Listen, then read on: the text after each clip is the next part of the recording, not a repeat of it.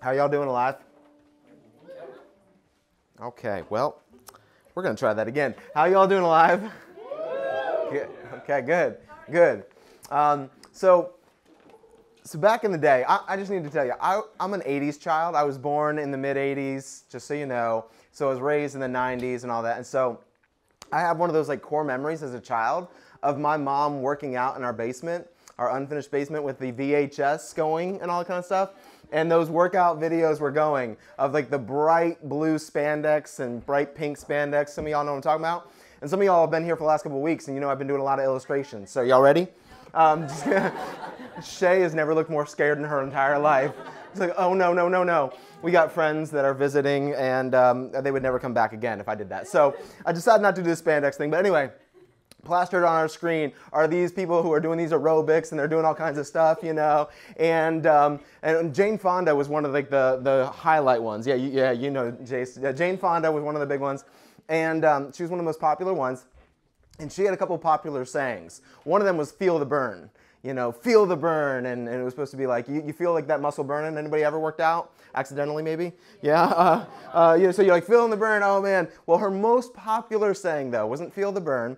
It was actually one that you're going to help me out with because it's a really common one. No pain. No pain. Yeah, that's right. Come on. That's right. No pain, no gain. Um, as I was getting ready for this message today and doing some research and study, um, Googling Jane Fonda and uh, finding this stuff out, there's a Wikipedia article actually about that no pain, no gain uh, saying that uh, explains that it was, quote unquote, meant to encourage athletes to endure physical pain, and emotional suffering to achieve professional excellence, right? And, uh, and then it goes on, the Wikipedia article says, medical experts agree that the proverb is wrong for exercise. uh, medical experts say that actually that's not maybe a good idea. Uh, oops. I mean, at the same time, we understand that you, it does, it, the article does go on and explain that certainly there's a reality to the fact that muscle growth and development needs pain sometimes, right? I know some of y'all work out, so, I'm looking at you. I know you work out. Like I, I, I um, muscle growth and development, unfortunately, does need pain sometimes. Yeah, yeah. But here's why it's not always a good idea to like go the no pain, no gain route because pain doesn't necessarily indicate. It's not a great indicator of good progress because there's such a thing as bad pain, right? No pain, no gain. Well, you pulled a muscle, buddy. So you are in pain and you are not gaining you pulled a muscle. Or um, how many of you ever watched, I, I just, again, I'm telling you all about my own business, but anybody ever watch those videos of people doing workouts in the gym wrong? Yeah? Like, that's not how that machine works, buddy, but I'm glad somebody videoed it because it's so funny. Um, so, no pain, no gain. Well, maybe you're doing the workout wrong. Like, maybe that pain is because you're doing the workout wrong, or maybe you're overextending a muscle. And so you're actually going to hurt yourself. You're going to tear something. And um, did you do that before, Dustin? Because that face right there you made was like, oh my gosh. Overextending a muscle. Yeah? Yeah. Yeah. So sometimes there's this reality of some pain and still no gain. And uh, there's nothing like suffering for no good reason, isn't there? Anyone ever been there? Uh, yeah. Honestly, though, let's be honest for a second here. Also, is rough when you suffer because you did it right. And I'm kind of venturing out of the physical framework now, just so we're clear. We're moving out of the, the, the realm of talking about physical um, stuff and physical fitness. Although I will just say, just so we're all clear, God does care about our bodies, our physical bodies, and wants us to take care of them well and honor them well and, and all that. That's really important. But there's this reality that I want to get into today that sometimes you do the right thing and what results is suffering. That's why we have this wonderful saying, and again, I'm going to need y'all to help me out a little bit this morning here. We have this wonderful saying that says, No good deed goes unpunished. Just shows our cynicism, doesn't it? yeah, no good deed goes unpunished. And uh, but seriously, it can be rough. It can be rough when you're like, I'm doing the right thing. Like I'm, I'm I understand, and some, maybe sometimes we do understand, sometimes we don't. But I understand when, like, when I do the wrong thing that sometimes bad things happen. But I'm doing it right. Yeah? Yeah, anybody? like certainly when we're dealing with God, because that's you know in church what we talk about a lot, and uh, as you're in your life dealing with a God who is perfectly just, like His justice is supposed to be perfect, And when we decide to, to maybe leave a life of sin and doing things our way and, and breaking his commands and all that, we decide to follow him. When we, cool. She's got the answer right there. Let's hear it, Alexa. All right, or I guess that would be Siri. Anyway, when we deprive ourselves of some pet pleasures that we have, and instead we decide we're going to walk the, the straight and narrow, then God's going to, you know, like, He's going to have our backs, right? Like when I do that, He's going to have my back and He's going to help me out and He's going to give me a little reward here and there. You know, like, hey, I've seen that you were. Uh, you were doing this, or I saw that you're not doing this anymore. Here you go. Here's a little something, something to go ahead and thank you for that. And, and so he's going to take care of us in that way, and all as we wait to get to the great reward of heaven. So God's got our back, and that's how it's going to work. And um, and here's how. That's not how it works, by the way. And and that's why it's going to be tricky today, because what even happens in church world is that we say things that are true but are confusing. And here's the thing that I think we can say in the church world that's true but confusing. We're going to look at it a little bit today. It's this idea that Jesus took the suffering we deserved. As Anastasia was saying, as she um, invited us in today to lean into all that God has for us, this is the beginning of Holy Week. And so this week we're especially focused on the fact that like Jesus took the suffering that we deserved. So it's been taken. Like if it's taken, like if the suffering of this world has been taken by Jesus for us, then what ends up happening sometimes is that when the presence of suffering shows in our lives, you'll get even some like church people who will go, "Oh, well, that's probably because you're, you're sinning. That's probably because of sin in your life. Because what secret sin is God punishing you for? Um, that is the reason you're suffering. Or if we think that Jesus took our suffering, it can possibly leave us disheartened and want to quit following Jesus, at least for at least one sinful quick moment, because we're going, "This is not what I signed up for." Like, I signed up for the one where Jesus takes my suffering. Yeah? Or suffering can also lead us to believe that this whole system's kind of broken. Because if we do right sometimes and we are rewarded with pain, well, then forget this. Yeah? Because I, I, can get pain and enjoy the pleasure that gets me there first. Yeah. So, Jesus took the suffering we deserved. Yes, he did. And in fact, one of the disciples, Peter, who denied Jesus three times while he's in the courtyard watching this whole moment of Jesus getting ready to suffer and die for us. Peter, one of the best friends of Jesus, goes ahead and looks and watches this trial and watches Jesus as he gets to the suffering of, of, all, of the cross and all of that for us. And he starts to write, and this is our main passage today 1 Peter 4, we're going to start in verse 1. Since therefore Christ suffered in the flesh. So, just pause for a second. Christ suffered in his very human physical flesh for us. Jesus was fully human and fully God. So it wasn't like when he's like getting whipped and beaten and they're pulling the like the beard hairs and all that kind of stuff. It's not like he's somehow going, doesn't even bother me, doesn't even hurt. No, it hurt brutally. And in fact, I don't know if any of y'all have ever seen it. I was in this is going to date myself. I was in college when The Passion of the Christ came out, and I went to a Christian college. So like Christian college kids are like, let's all drive together and watch Passion of the Christ. Christian college kids, weird. Anyway, I, I, remember seeing it in theaters, and I at some point I, I um, bought the DVD, and I honestly don't think I've ever watched it on DVD because it's just so brutal to have a real life, just a real life depiction of what Jesus did. Like what we celebrate and what sometimes we even wear around our necks and things like that. Like it is brutal what Jesus did. And that's, by the way, um, why I, we've got a Good Friday service happening this Friday. And if you do come, we'd love you to come. It's going to be an hour, 7 o'clock to 8 o'clock Friday night, and would love for you to come for that hour. But I'll warn you, Good Friday service at Alive and Easter service at Alive, very different. Because Easter, we get to party and celebrate the resurrection of Jesus. And on Good Friday, we know that's coming, but on Good Friday, we really stop and go, oh, dang, this really cost him a lot. Mm, yeah. and, and, and by the way, the this is my sin. Like my my junk wasn't just a quick little moment. It's not a little passion play. It's like Jesus actually was willing to suffer in his physical flesh and unimaginable. I can't imagine it. Like I'll be honest with you, I got a cut on my hand this week, and like there's a couple moments this week where I've just been like, Lord, take me. Uh, the suffering I, I, deal with is too. I'm, I'm joking, but like I'm also like I guess I'm definitely a dude. I don't know. Like, people pick on guys sometimes for this, so maybe that's just what it is. But like, I, I can handle some pain, but like, I, I cannot imagine to have to endure that. Yeah. And to have to endure it going, I know I didn't do anything to deserve this. I know this is not at all because of anything I've done wrong, because Jesus never sinned. And so, I, I, I know that like we've kind of covered that, that part, that since therefore Christ suffered in the flesh. But we've only gotten to the first of three commas. So let's just finish out the sentence, okay? Yeah? All right, let's do it. Are you all ready? Yeah. All right. Um, since therefore Christ suffered in the flesh, arm yourselves with the same way of thinking, for whoever has suffered in the flesh has ceased from sin. And I want to make sure we, like, for whomever has suffered in the flesh has ceased from sin. I'm going to explain that in a second. So as to live for the rest of the time in the flesh, no longer for human passions, but for the will of God. And then I, we'll read this other part here too, just for context. For the time that uh, past suffices for doing what the Gentiles want to do. Gentiles is basically a word in Peter's vernacular for those who don't know Jesus.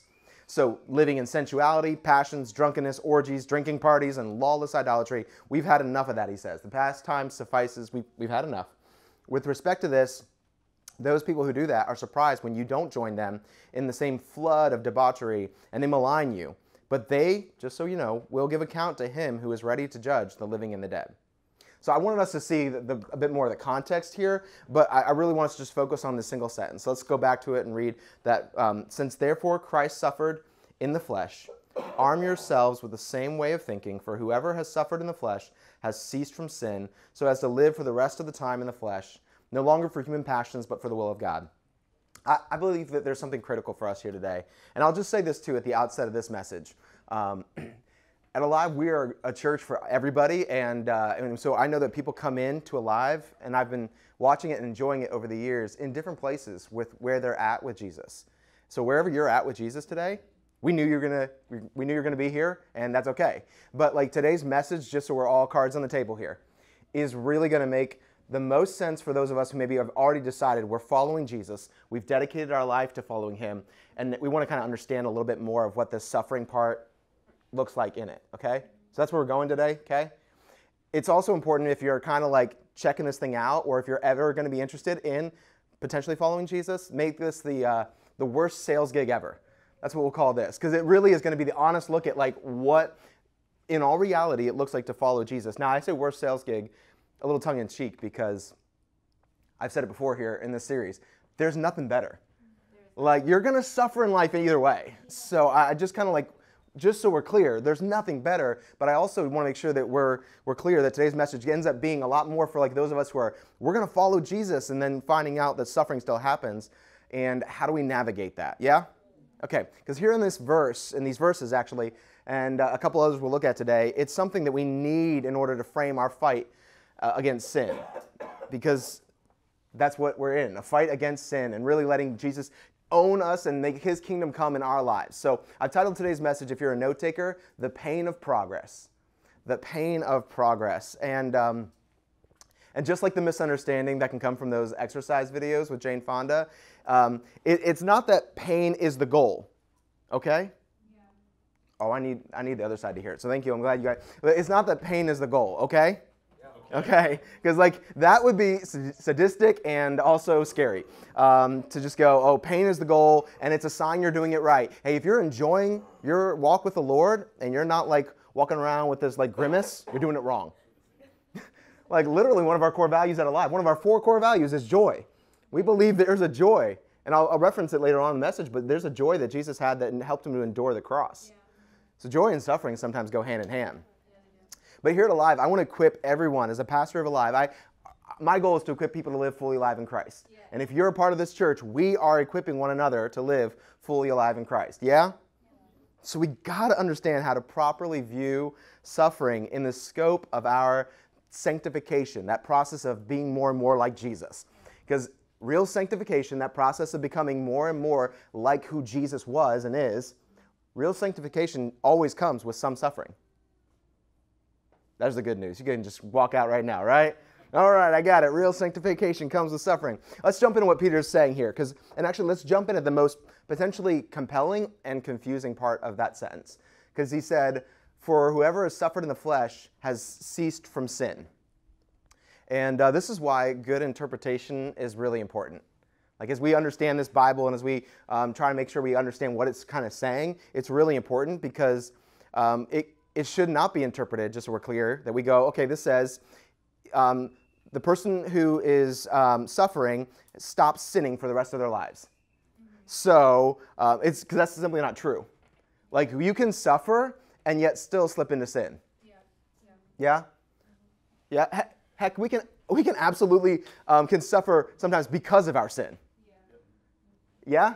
I'll give you a couple examples. Like for for instance, we lash out and we suffer the loss of a relationship because we let our anger get the best of us, and we can lose a relationship before Christ or after Christ, like you know, enters our lives. Um, we covet, kind of want what someone else. Somebody is really having a time act there, isn't they?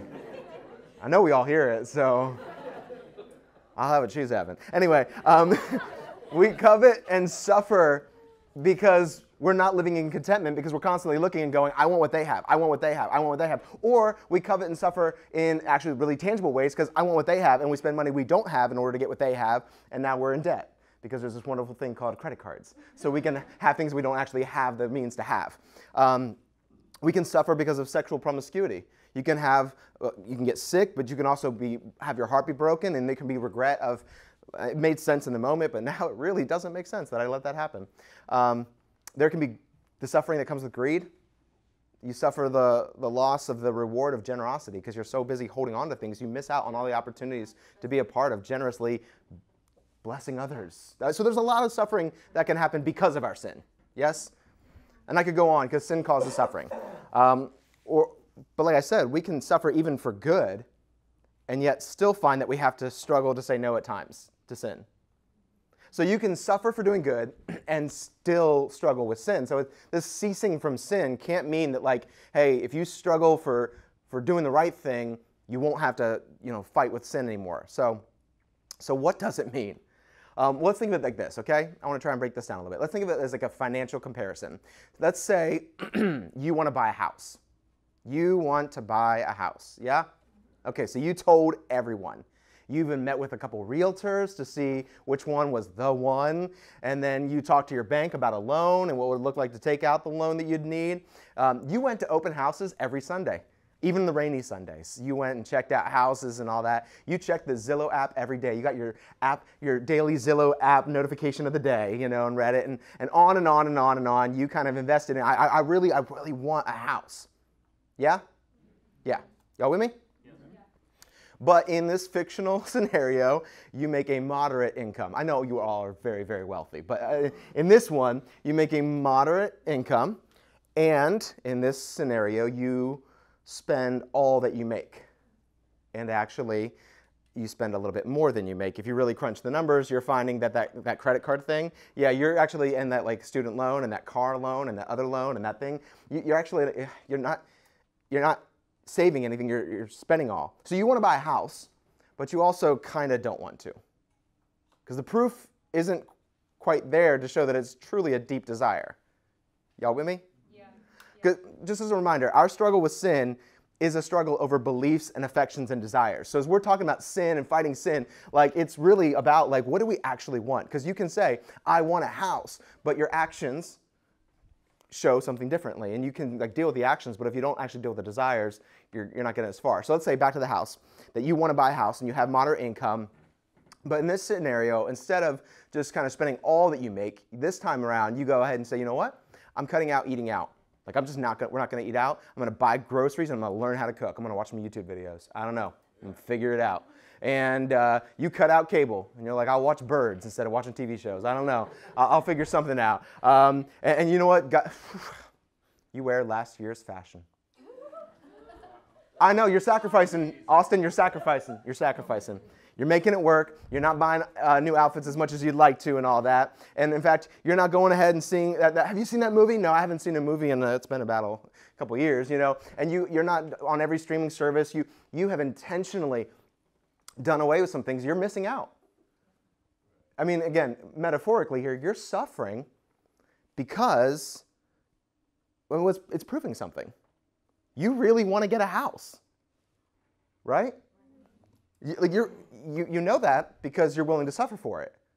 Because it's like, like anything else we can say we want, like when you suffer for it, then it's kind of like, oh, I think you actually do want it.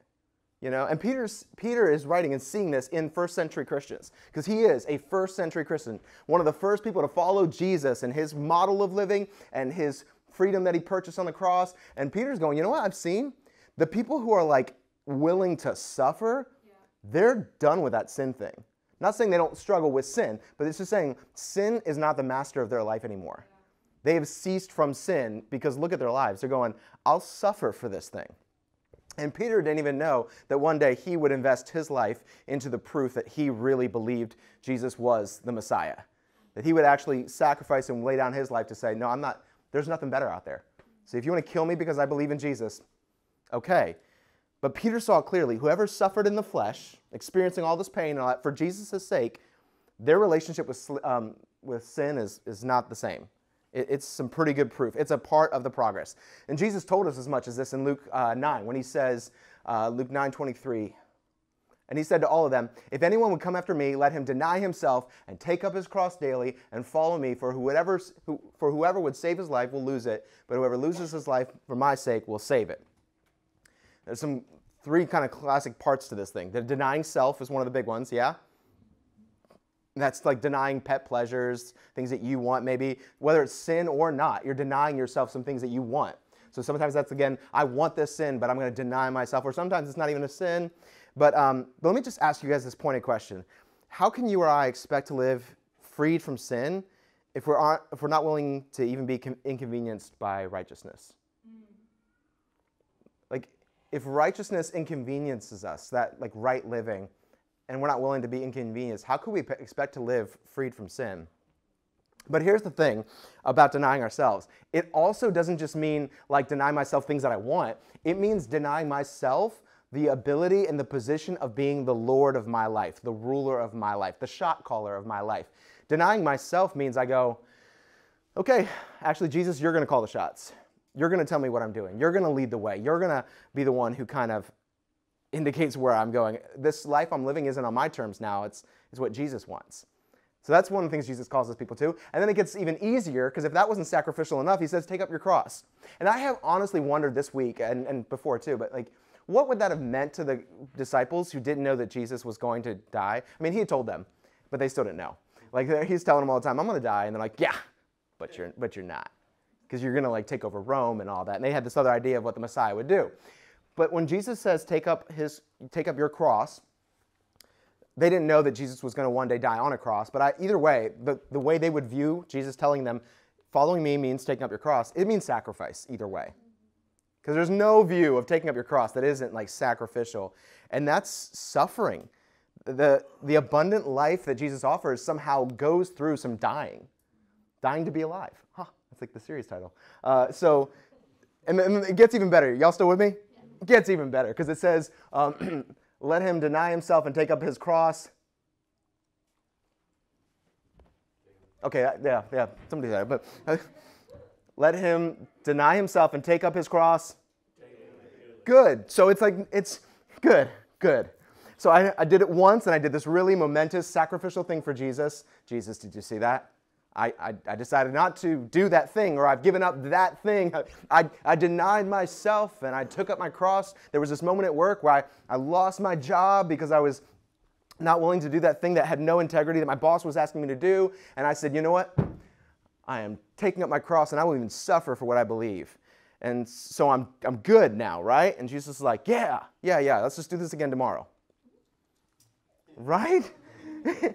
Let's do it again tomorrow. No, it's, so it's not enough to like have these one-offs where we're like living sacrificial. Romans 12:1 even says that we are called to be living sacrifices, which is this indication of like actually you live out a sacrificial life where you are on the regular, you are living in a way that puts yourself on the altar every day and going, whatever you need to take from me, whatever you want to do with me, Jesus, you can do it.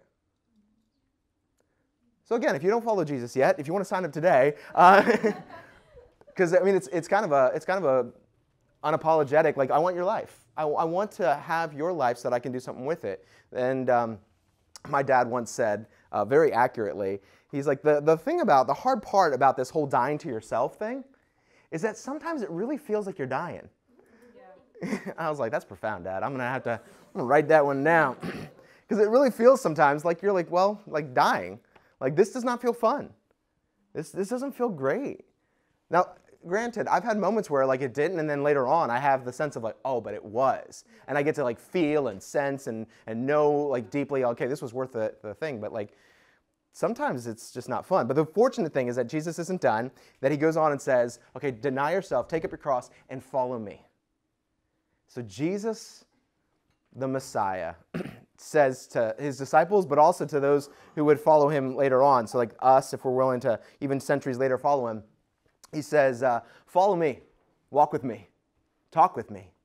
Let's, let's have a relationship. Let me, let me speak into your life. Let me help you journey through some of those challenges that you're going to face. Let me come along and encourage you and comfort you. Let my words speak life to you. Let me teach you some of the wisdom of how to really navigate this life because uh, I've been here since the beginning, Jesus says, so I know a thing or two. And uh, you can trust me and you can walk with me and talk with me. And Jesus inviting his followers to follow him, I think, is a couple things. One, it means to follow his teaching.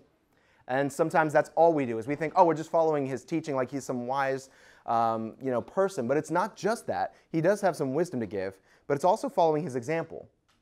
So it's cool because it's not just his teaching, but he actually lived the perfect life. So we get to follow his example. And it's not even just that, it's actually the fact that we can currently follow Jesus because he promised when he left this earth, when he told his disciples, All right, my time here is done, that I'm going to give you my spirit, and that spirit's going to help you. He's going to speak to you, he's going to guide you.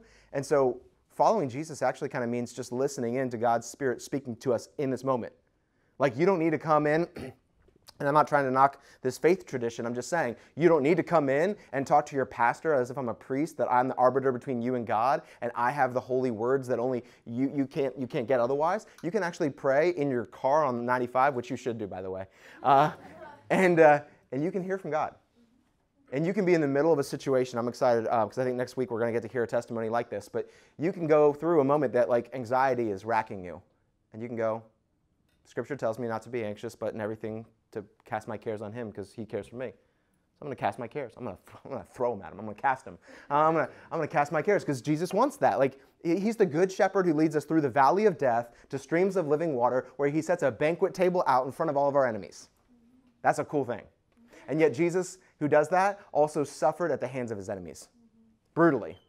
And a vast majority of his disciples, those 12 disciples that followed him, um, the majority of them, vast majority of them, suffered suffered with their lives. Like they died because they decided to follow Jesus. And all around the world today, in places that are very different than Fredericksburg, Virginia, there are people today who will and are suffering, and some of them will give up their lives because they're committed to following Jesus. And, um, and many of us, even in the States, who won't suffer that kind of thing, will suffer different kinds of losses in our lives if we choose to follow Jesus. So whoever has suffered in the flesh has ceased from sin. These people back in Jesus' day, as well as all the way to today, and maybe even us, the reason why is because we're going, you know what, there's something better uh, than physical pleasure. Like, yeah, I could have things maybe that I want now, but there's something actually better. So I'll suffer a little bit in this way because I'm going to get something that's even better. Something maybe that I don't even see yet but my affections are for something that maybe I don't see right now. My belief is in something that I don't see right now, but that's where faith comes in because it's like I, I don't need to see it to know that it's true. And so, as, um, as verse 2 of 1 Peter 4 said, so as to live for the rest of the time in the flesh, no longer for human passions, but for the will of God. Basically, it's saying, as many little sand pebbles as are in my hourglass that I don't even know how many, you know, sand pebbles there are in my human life, life in this earth, my flesh time on this earth. I'm going to spend the rest of my time, I'm going to invest the rest of my time, however that might be, to go ahead and to not seek my own immediate passions and the things that like are carnal and that everyone and anyone given of themselves would do. Things like the Bible talks about greed and lust and gossip and division and drunkenness and self righteousness or laziness or just selfishness, anything like that. And instead, I'm going to invest it into the will of God. And uh, that's because we have this like new nature that God gives us, where He goes, actually, I'm going to give you something better to chase than just what makes you feel like you're living your best life. I'm going to actually get you your best life. I'm going to actually offer you the will of God. And I referenced it earlier, but like actually, this makes me think of Romans 12 1, where it says, I think we got it. Yeah. I appeal to you, therefore, my brothers, by the mercies of God, to present your bodies. Now, let's, let's actually hold on a second, because I want to get us some context here just to understand what we're about to read. He says, I appeal to you, therefore. And I know he jumped right in, but it's chapter 12, and he's saying, therefore. So basically, what Paul has done is in chapters 1 through 11 of this book, Romans, he has gone, and this is Paul's like theological text. He's created this whole systematic theology. So it's a lot of theology about who God is. But Paul, and this is why I like Paul, he goes, okay, let's let's move past the whole like heady stuff. Let's get real practical here. And so he says, therefore, with, in light of all this theological stuff, which is great to read, but we don't have time for today, I appeal to you. He's almost like he's uh, being diplomatic as he goes into exhorting us about our ethics. And so he says, by the mercies of God, to present your bodies as a living sacrifice, holy and acceptable to God, which is your spiritual worship, which by the way means that like spiritual worship, like real worship, isn't just singing on a Sunday morning. It's the idea of going, like, I want to live my life for Jesus. So it's not just about us singing songs on key, it's about living sacrificially. It's about not just playing an instrument, it's being uh, actually an instrument of what God wants us to do in this life. It's not about us having our guitar in tune, it's about us being in tune with the Spirit of God. It's not just about having a good soundboard, but letting Jesus be our sounding board as we go through life and just be like, hey, can I process this with you, God? Because I could really use some help. We're, we're worshiping God by walking this life where it's like, I'm going to live sacrificially, where it's not just me on autopilot, what makes sense to me. Jesus, what do you want? And when he says sometimes, I want you to do this, and we go, oh, I don't want to do that. We go, oh, yeah, living sacrifice. And we're denying ourselves, and we're taking up our cross, and we're following Jesus. So that leads to us not being conformed to the world, but being transformed by the renewal of our mind. And this is kind of cool that by testing, you may discern what is the will of God. That's the will of God that was mentioned in Peter's letter. What is good and acceptable and perfect? And that testing isn't like a multiple choice test. Like, gosh, I wonder what is the will of God. It's the idea of like when he says testing here, he's meaning basically like, let's uh, kick this thing and see if it works. You know, like it's like the testing it. Let's let's try this thing out and see if it works. And uh, Jesus is basically going, as you don't conform to the pattern of the world, as you and I are transformed in the way that we think, as we come to God and go, you know what, my worship is going to be I'm going to live sacrificially towards you, following you, you're going to find that, that Jesus is so good. That Jesus is so rewarding. Following him is so rewarding. It's so fulfilling that followers of Jesus have, for centuries and thousands of years, would go like, I'll die for it. Because there's nothing better. I mean, if life is going to always involve some sort of suffering, right? There's simply no way to avoid suffering entirely you might as well suffer profitably. Yeah. If you can gain a whole world and lose your soul, why not instead then uh, gain a new and free soul if you even have to like pay f- with the world for it? You know, why not instead of all the things you can gain in this world, why not instead gain peace? Yeah. Why not instead gain some freedom? Why not instead gain some hope for this life? By the way, I can't help myself, but I'm going to let you know. We're starting a new series, not next Sunday, because next Sunday we end this series on Easter, Dying to Be Alive. Don't miss it, it's Easter Sunday. But the week after that, we're doing a new series for a few weeks, I don't know how many yet, called Hope Fully. Because I'm really convinced that like we have a hope crisis where we're supposed to have it, and yet um, a lot of us we're just beaten up by life and we're cynical and we, we need some more of it. So, but why not gain from Jesus the joy and the hope that he offers? Do you, do you want the house? Yeah. Like, let's see. Let's see. Like, let's suffer so that we can show, like, yeah, that's how much I want it. I'm willing to. I'm not looking for suffering, but I'm willing, if it comes my way, um, to, to let it exist because I, I'm really convinced, that convinced, that I want this. By acknowledging that it's a part of, suffering is a part of the process of progress, and we can't shrink back from it. Hebrews 10 says, but recall the former days when, after you were enlightened, so again, this is a message that even the writer of Hebrews is kind of speaking to people who have decided to follow Jesus. And he kind of lights up. Oh, by the way, that was like that one week where we had the, like the light up here, the little lamp and all that kind of stuff. Yeah, yeah. He lights it up. You're enlightened. You endured a hard struggle with sufferings. I mean, again, isn't that a great sales pitch right there? After you met Jesus, you got to endure a bunch of hard struggle with sufferings, sometimes being publicly exposed to reproach and affliction, and sometimes being partners with those so treated. So basically, sometimes it was your friends who were beat up and mistreated. Because some of us actually, it's one thing we can do it, but it's watching people we love. Yeah. For you had compassion on those in prison for the faith in this situation, and you joyfully accepted the plundering of your property. Oh, the government's going to go ahead and be like, well, they take advantage of this belief system and steal your stuff. I mean, all kinds of things are happening since you knew that you yourselves you had a better possession and an abiding one. You see how he's playing this perspective here? Mm-hmm. It's not that we don't care about stuff. Like I, I lock my doors. I try to remember to do it. You know, like I don't want people to come in and just plunder our stuff. Uh, I, I, but but if it's a cost of me following Jesus, then I got something better anyway. Yeah. Things break. Yeah. They wear out. Therefore, he says, do not throw away your confidence, which has a great reward, for you have need of endurance, so that when you have done the will of God, oh, there's that again, right? When you and I have done the will of God, when we've, we've laid down and we're living sacrifices and we've done the will of God, that you may receive what is promised. For it says, Yet a little while, and the coming one will come and will not delay. But my righteous one shall live by faith, God says. And if he shrinks back, my soul has no pleasure in him. But we are, I mean, I feel like Hebrews is preaching at this point. But we are not of those who shrink back and are destroyed, but of those who have faith and preserve their souls. And let me just kind of real quickly clarify something. Y'all still with me?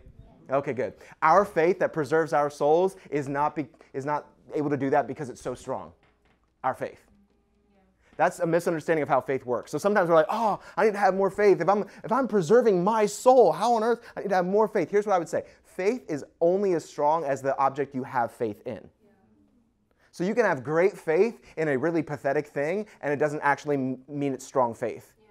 And you can have a mustard seed of faith, like just like the littlest bit of it, but in something that's great, like Jesus. Mm-hmm.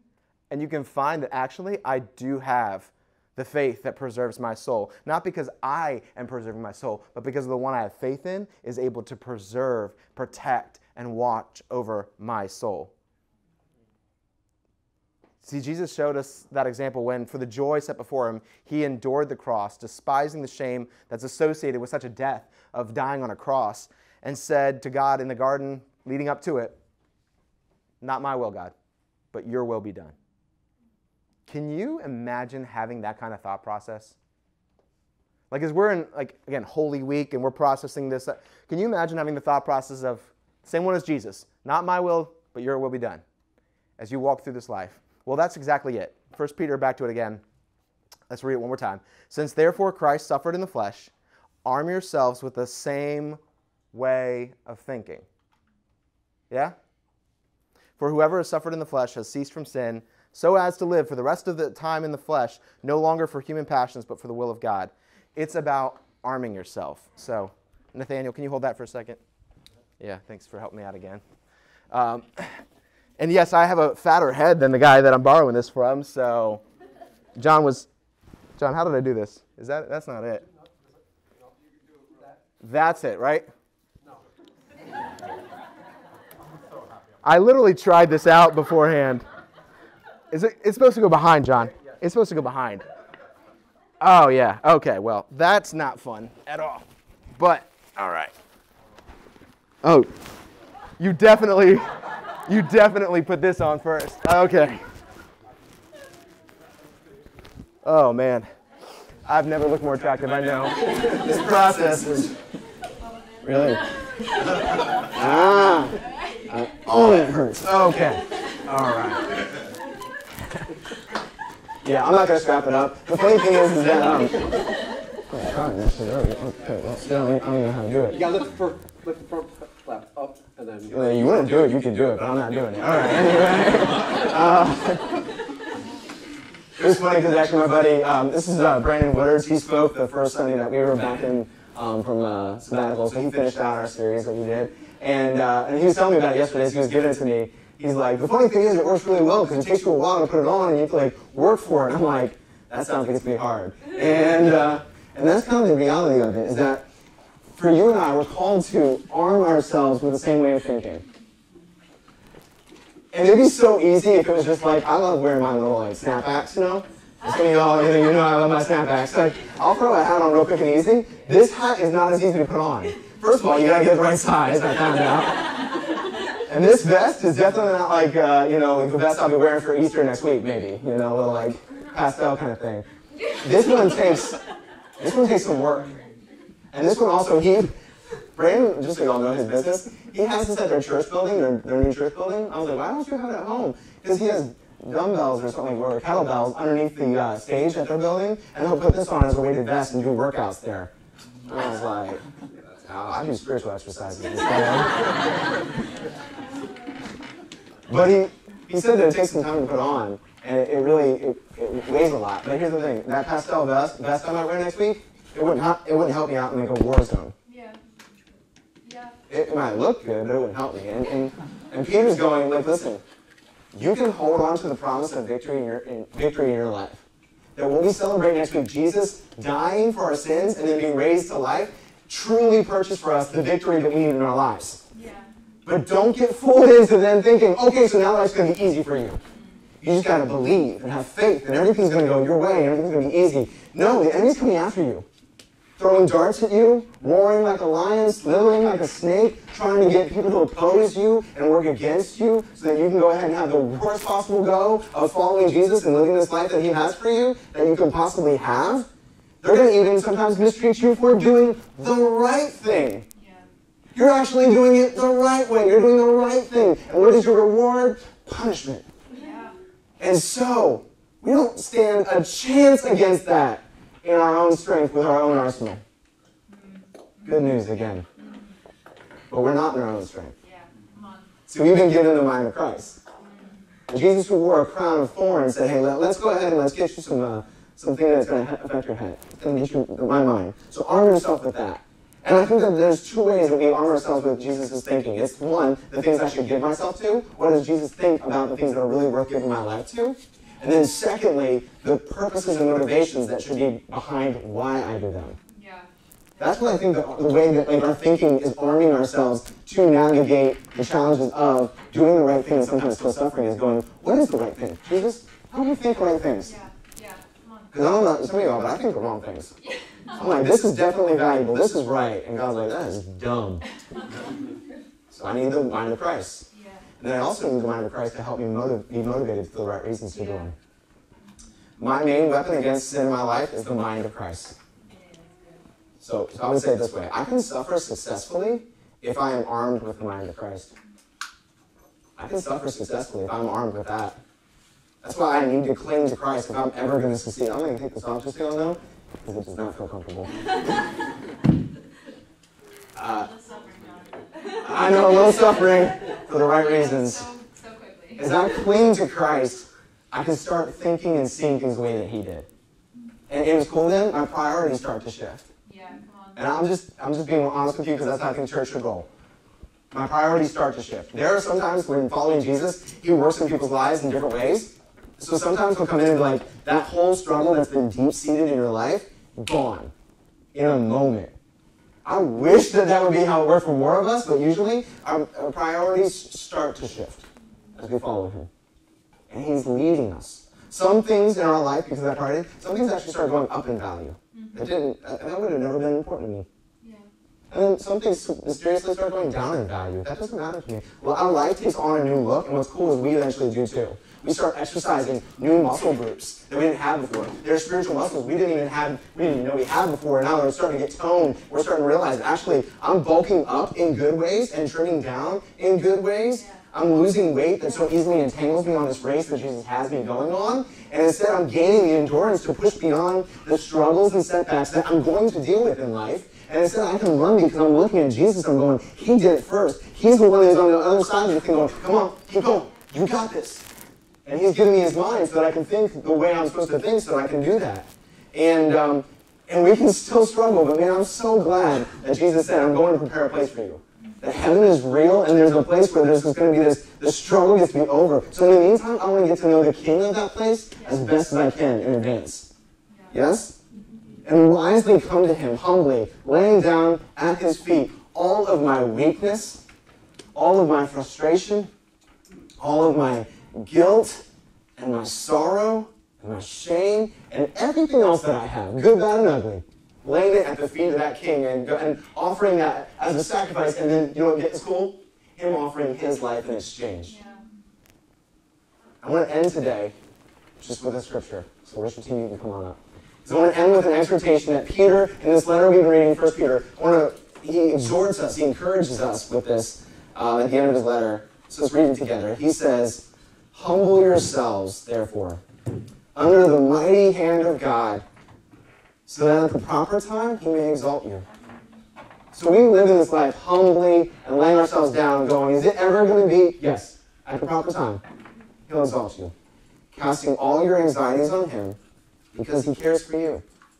Be sober minded. Be watchful, he says. Your adversary, the devil, prowls around like a roaring lion, seeking someone to devour. So resist him, firm in your faith that doesn't see it right now, but believes that Jesus is who he says he is and can do what he says he can do. So you're firm in your faith, resisting him, knowing that the same kinds of suffering you're dealing with are being experienced by your brotherhood and sisterhood around the world.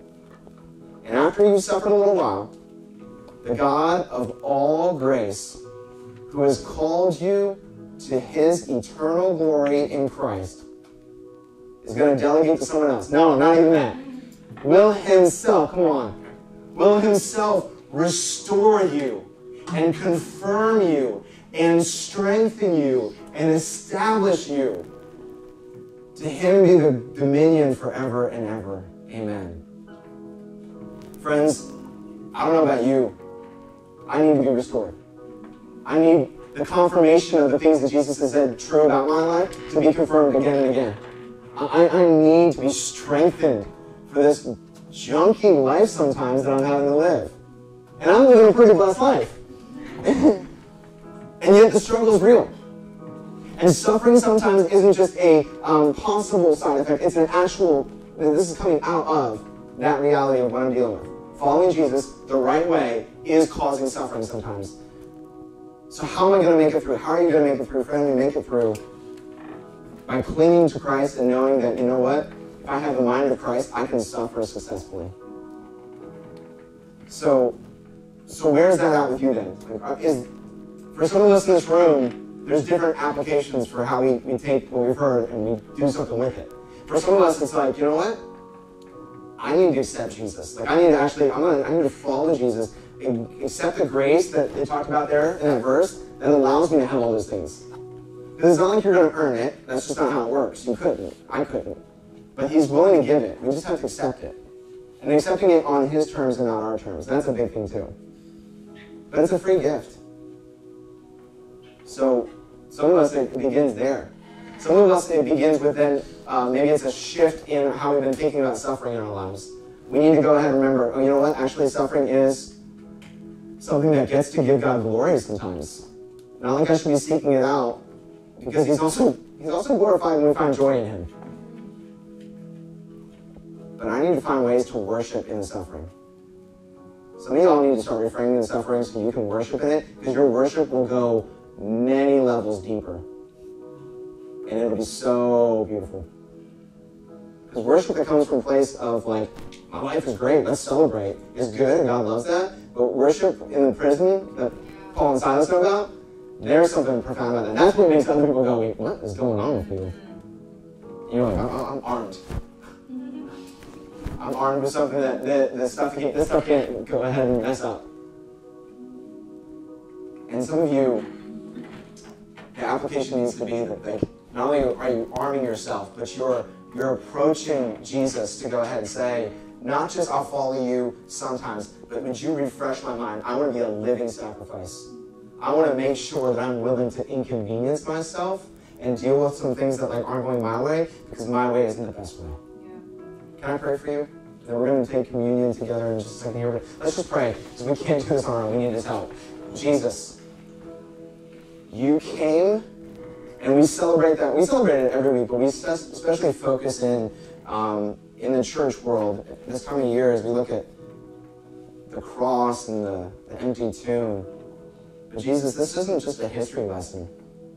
Because people like Peter, years and years after you, you died and you resurrected and were raised again, he, inspired by the Holy Spirit, wrote this letter to people to encourage them because he knew, and you know what? This risen Jesus is still changing lives. He's still inviting us to follow him, and it's still worth it. So, Jesus, thousands of years later, we're, we're praying to you and asking, would you help us? Because we can't do this thing on our own.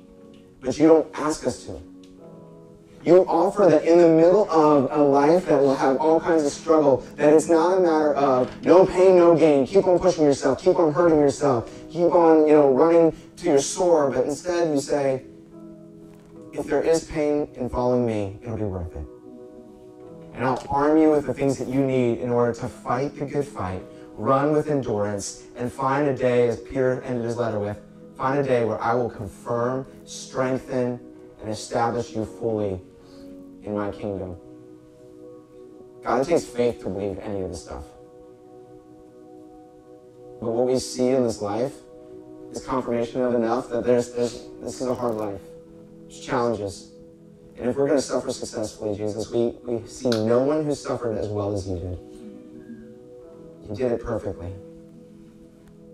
So would you help us? Jesus, if we're in this room and we need to begin the relationship with you, and you're prodding on our hearts to do that, would we just pray?